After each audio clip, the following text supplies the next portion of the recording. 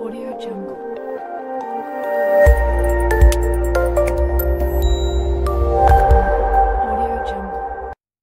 Canada ने पाकिस्तान में मुकीम अपने शहरियों के लिए हदायतनामे में तब्दीली कर दी।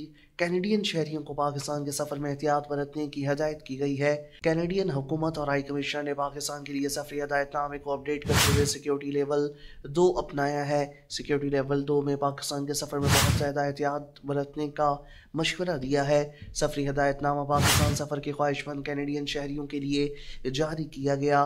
कैनेडियन हाई कमीशन की जानब से पाकिस्तान में मुकीम कैनेडियन शहरियों को सफरी हदायतनामे पर अमल दरामद करने की हदायत करते हुए कहा गया। पाकिस्तान में गैर मुतव सिक्योरिटी सूरत हाल की वजह से इंतहाई एहतियात बरतें कैनेडियन शहरी पाकिस्तान में गैर ज़रूरी सफ़र, खासतौर पर सरहदी इलाकों में सफ़र से गुरेज करें।